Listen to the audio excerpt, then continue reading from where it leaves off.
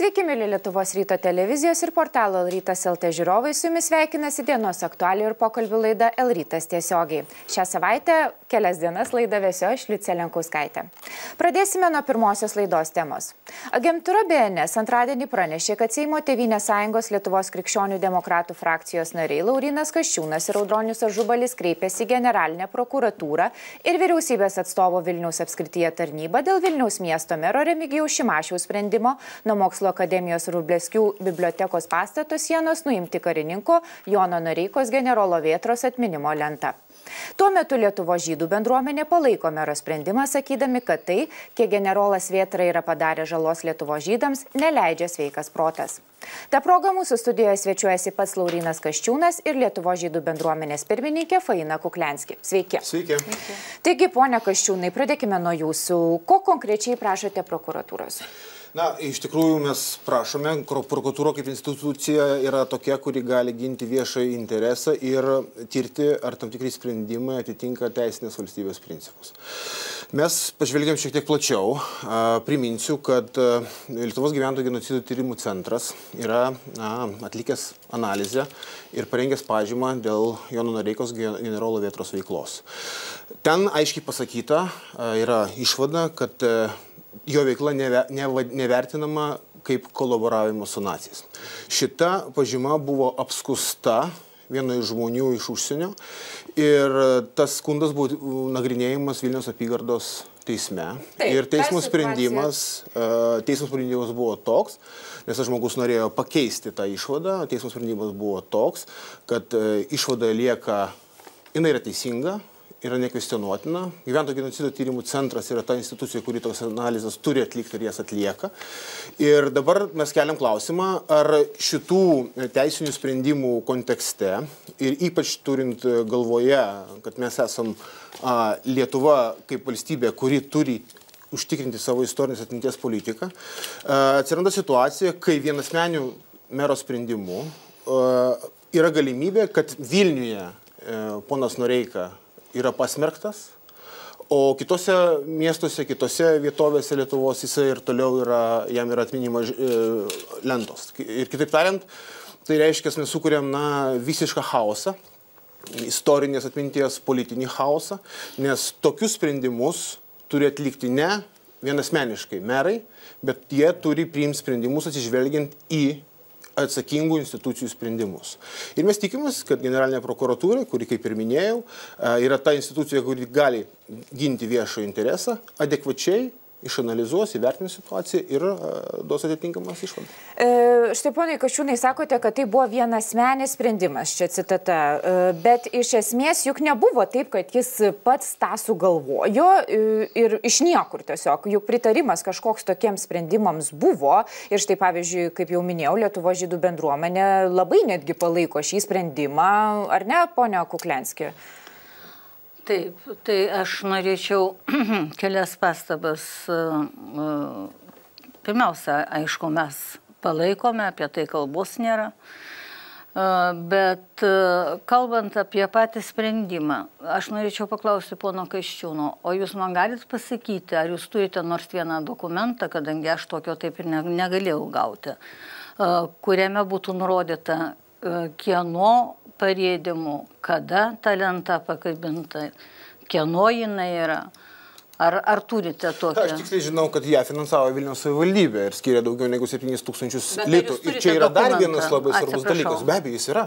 Jis yra, tikrai yra dokumentuotas ir tą faktą yra pripažinęs pats meras Šimašius. Tai, kad tai yra jo asmeninis sprendimas, vienas asmeninis sprendimas irgi pripažino meras Šimašius. Jisgi tą aiškiai pasakė vakar bent e, keliose laidose. Ir atsiprašau, bet na, taip nedaroma tokie dalykai, tokie, tokie sprendimai neįprieimami vienasmeniškai. Jeigu mes rimta save gerbinti valstybė, turi būti atsakingos institucijos, kurios visą tai vertina, ekspertai padaro išvadas. Suprantat, kur yra problema Lietuvos? Mes per tuos metus nepadarėm tą, ką padarė, pavyzdžiui, prancūzai su Vichy režimu, arba Šveicarija padarė arba su petenu, savo. Arba Petenu. Uh, reiškia, Apie Peteną dar prieisim. Bet žiūrėkit, ten yra buvo, na, suprantat, tie, tos laikmetis buvo toks sudėtingas, kad labai aiškiai reikia sudėlioti, ką reiškia kolaboravimas. Suprantat? Nes kontekstas buvo be galo sudėtingas. O jūsų manimu ir, ir teigimu, kad mes to nesudėliojome per šią, šią, šią nepriklausomybės laikotarpį, ar ne? Mes to nepadarėme. Taip.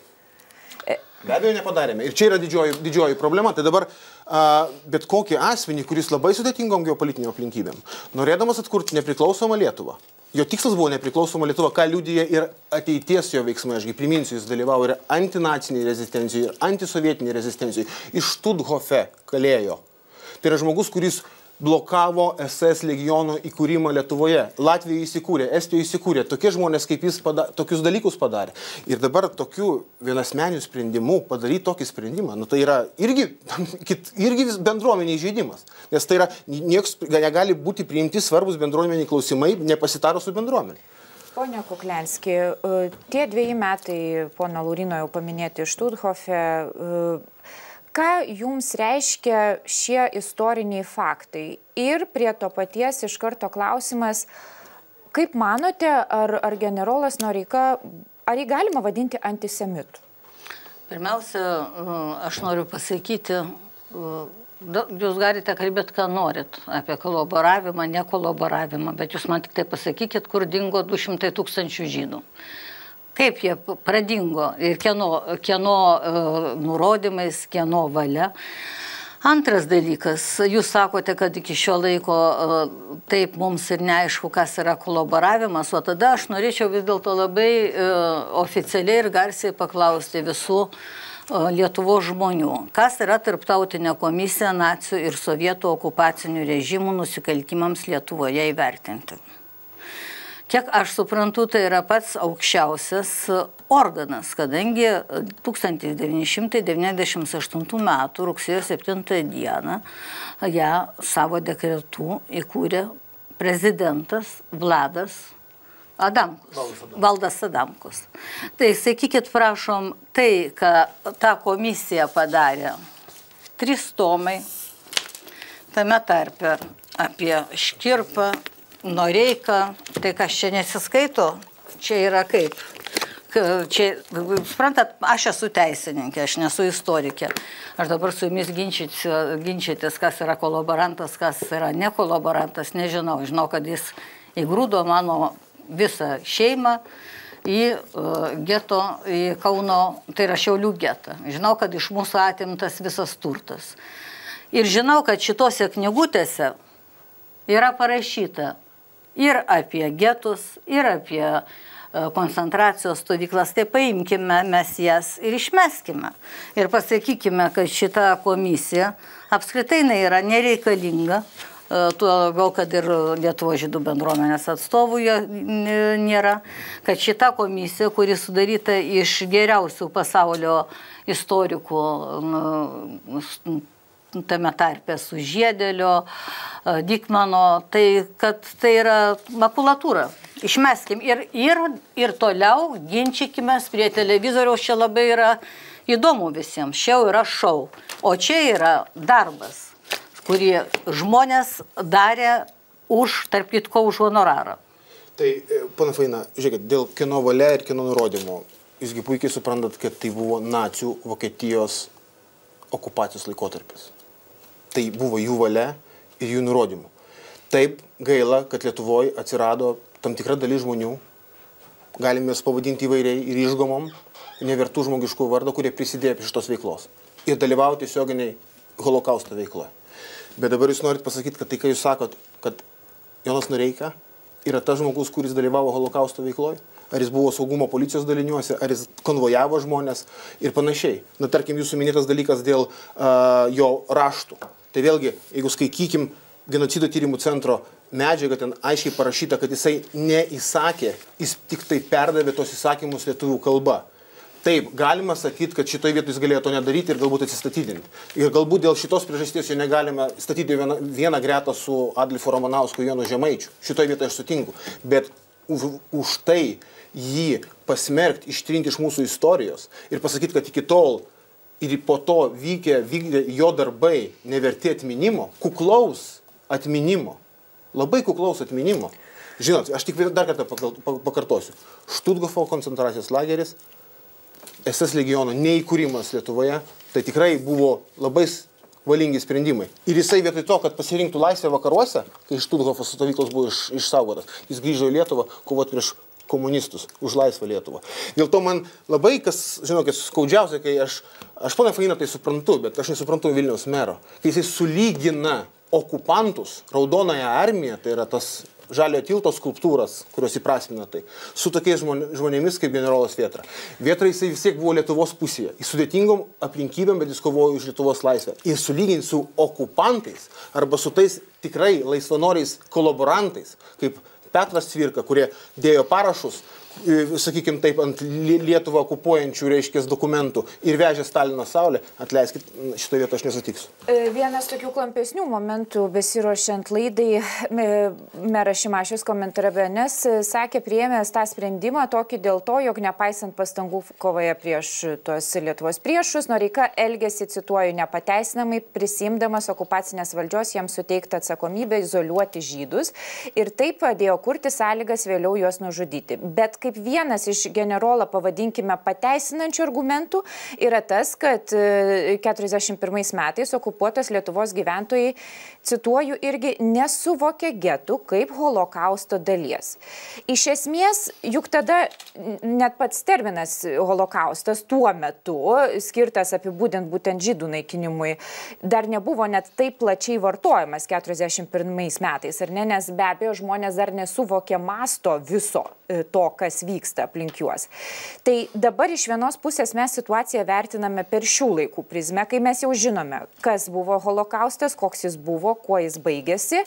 Ir iš kitos pusės mes vertiname pagal tų laikų prizmę argumentas tas, kad jis nežinojo ir jie nežinojo, kad e, getai yra holokausto dalis. Tai kaip vis dėlto reikėtų vertinti tai, kas vyko? Pone Kašiūnai, visų pirma jūsų. Čia jau klausimas istorikam, bet būtent tai, ką bet jūs minite. Istorikam, nes taip, jūs e, tai- šiandien tai, tai jūs, padavėte jūs, į prokuratūrą. Tai be jokios abejonės. Dėl tam tikrų teisinių dalykų, kurios tai yra dėl vienasmenio mero sprendimo. Tai kalbant apie tai, ką jūs formuluodama klausimą pati tą kontekstą gražiai ir, ir išplėtojate. Problema, me, labai patogu šiandien viską vertinti iš teisuolio pozicijos žiūrint. Iš šių laikų, šių laikų pozicijos. Būtent. Ką Bet... žmonės žinojo 1941 metų vasarą apie tas baisybės ir apie kitus, reiškia, sprendimus, kuriuos priiminėjame Berlyne, man yra atviras klausimas. Aš nežinau, ar jie žinojo, kuo tai baigsis. Dalis tai jau vyks. buvo žinoma to masto, bet be abejo ne visas Taip, mastas. Kaip ir jūsų minėtas atvejis dėl, dėl, dėl, dėl, dėl geto, dėl, dėl izoliavimo. Galbūt dalis jų matė, kad tai yra išsigelbėjimas tie žmonės. Aš tikiu, bet po to tai virto be jokios abejonės tragedija. Klenskė atsakymas skirsis nuo jūsų, aš, aš taip suprantu. Taip, tai pirmiausia, žinojo ar nežinojo. Ne tai, kad nežinojo, net neįsivaizdavo kad e, žmonės gyvenę vienam kaimelėje pradės vienas kitą žudyti. Net tokia mintis negavo, dabar mes apie tai kalbam, bet kada aš kalbu dar su išlikusiais e, e, nukentėjusiais nuo nacizmo, nu, ne, netikėjo, kada, kada sakydavo, kad jūs žudys, pabėkite, jūs žudys. Niekas netikėjo tuo kadangi tai iš tikrųjų buvo nesu, nesuprantama ir neįsivaizduojama. Dabar jeigu jums e, kyla abejonės dėl izolacijos, tai jūs matyt ne pirmas, kuriam aš siūlau. Jūs pasimkite kokį dešimt šeimų, galite ir daugiau. E, atiduokite visą savo nuosavybę kam nors, aš nežinau, ar savo partijai, ar, ar šimašiui, ar dar kam nors o patys persikelkite tie 10 ar 20 šeimų į vieną kambariuką e, geto. Ir tada ten sėdėkit ir galvokit, ar tai yra izolacija ar ne. Paskui su jumis atsitiks toks dalykas, kad vieną dieną jūs ateisit iš darbų ir nebesurasit savo vaikų kadangi juos kažkur tai išvežė ar nužudė. Jūs galvokit, ar tai yra izolacija, ar ne izolacija, ar tai nusikaltimas, ar ne. Galų galę paprašykit savo daiktų atgal, kad jums gražintų. Jūsgi šakutę tikriausiai turėjo atsidabrinę šaukštą. Kiekvienas žydas turėjo žvakydę e, tam, kad švestų šabatą. O ko paprašyti? Ir mes tokius veiksmus e, e, galime dėl tokių veiksmų ginčytis, Aš noriu dar kartą pasakyti visiems, kas nesuprato arba kas nenorėjo suprasti. Lietuvos žydų bendruomenės pozicija yra labai aiški. Lietuvos žydų bendruomenė niekada nevadino lietuvių žydšaudžių tauta. Mes sakome, kad visokias, visokius paminklus ar, ar e, pagarbo ženklus reikia statyti tiem žmonėm, kurie yra nei kiek nesusiterčiai, nu, vat niekaip. Juk yra pilna, sakau, mano seneliui pastatykit, jis nieko blogo niekam nepadarė, tikrai nieko neizoliavo. Tai čia va ir įeina tas e, Peteno klausimas, nes e, iš tiesų vakarų šalyse ir kolega Valdas Bartasevičius šiandien rašo, retoriškai klausė savo tekste, ar prancūzijos parlamentarai kada nors virkavo, kodėl nėra pagerbtas pirmojo pasaulinio karo karvedys Petenas, kuris iki gėdingo kolaboravimo su nacijais, cituoju, daugiau nusipelnė Prancūzijai nei Kazys Škirpa Lietuvai. E, ir tose šalyse regis net iš vis net nekyla tos mintis. Ar norite sulyginti Peteną su generolu Vietra? Aš tiesiog sakau, kad viešame diskurse jie yra lyginami ir yra tas ne, tai, klausimas. Kai, kai tu nori pritemti savo interpretacija palankia, tu gali bet ką su bet ko palyginti. Yra žmonių, kurie škirpą išvadino Hitlerio šunimi, bet tai, bet bet tai čia yra visiškas absurdas ir tokie dalykai yra smerktini. E, mes kalbam apie plotmę, labai svarbias lyg... detalės. Mes lyginame ir blogį su kontekstą. didesniu blogiu. Na, tai, ir... tai reiškia, reiškia palaukit, nu, negalima generolo Vėtros įvardinti blogiu tam tikri jo veiksmai. Apie žmogų ne, bet taip, veiksmai. Ma, taip, matykime visą kontekstą matykime visą kontekstą. Jo kovo už Lietuvos laisvę. Jo mintis kad jis norėjo atkurti nepriklausomybę, galų galia jo veiksmus. Bet tada ir tada matykimis... Peteno lygiai toks pats. Ne, Petenas buvo na, tiesioginis kolaborantas. Ta prasme, tai buvo tiesioginis. Tai Bet, jisai, jisai vadovavo kolaboraciniam pajėgom. Prancūzijai. Bet žiūrėkit, ta, žiūrėkit, generolas Vietra, jisai buvo civilinės Lietuvos laikinos vyriausybės administracijos pareigūnas. Jis nebuvo a, pavaldus, sakykime taip, ir nebuvo nacijų hierarchijoje okupaciniai valdžioje čia nais. Tas irgi yra labai svarbus dalykas. Mes einame į labai tokias na, atskiras detalės ir dabar negali Taip. ištraukti Peteno ir palyginti Taip. su, su generolu Vietra. Ir, ir plus jo vaidmuo skiriasi kolaboravimo prasme ir panašiai. Tai šią prasme, ką jau kalbėti apie metodus, kuriuos mes čia matėm prieš, prieš, prie, prieš dvi dienas, tai aš nelabai ne, ne, ne, ne ką ir lyginčiau. Čia daugiau išmokti pamoką prancūzų tą prasme reikia, kad jie labai aiškiai turėjo, sugradavo. Kas yra tik laiko kolaborantas, kuris žinojo, ką daro. Antra grandis, kuris siekia kilnių tikslų kaip laisvos nepriklausomos, pavyzdžiui, Lietuvos, bet turėjo priimti tam tikrus sprendimus, kurie galbūt meta tam tikrą šešėlį. Ir galų galia trečia grandis, kurie nežinojo, ką daro. Ir tada pagal va, šitą, šitą susisloksniavimą tu jau gali analizuoti procesą.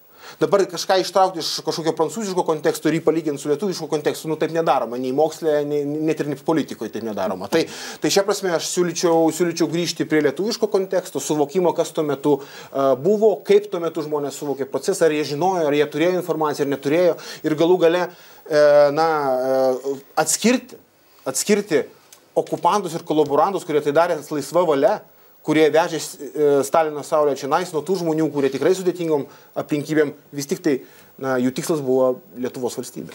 Pone Faina, tada paskutinis klausimas apie tos lietuviškosius namų darbus, ką ponas Laurinas irgi sako ir ką iš tiesų po truputį pradedama vis labiau kalbėti apie tai, kad mes nepasidarėme jų ir mes nenusibrėžėme savo, kas yra kas, kas buvo kodėl.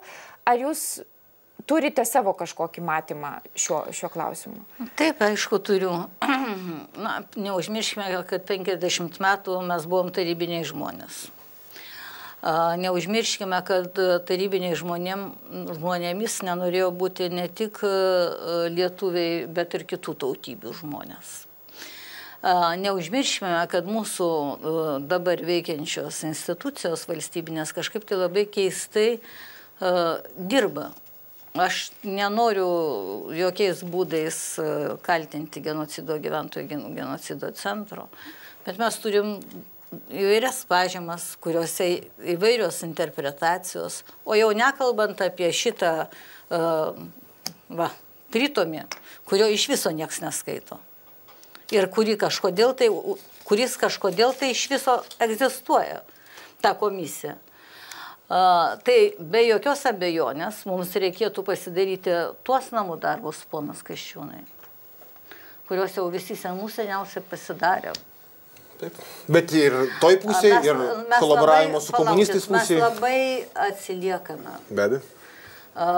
Šiandieną kalbėti apie tai, ką Vokietija ar Prancūzija ar Austrija, tarp kitko valstybinės institucijos jų jau senų seniausiai yra padariusios, tai yra tiesiog gėda valstybei. Jeigu mes šiandieną dar ginčiamės tais klausimais, kas yra kolaboravimas, kas yra nekolaboravimas. Ir dar kartą klausiu, kur dingo žmonės?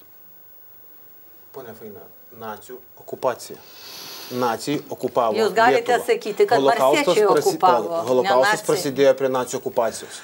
Prie nacijų okupacijos prasidėjo. Tai nepamirškime, kad tai buvo nacijų baisybės, jų sprendimai ir tik tai reikia apgalėstauti, kad dalis žmonių prie to prisidėjo.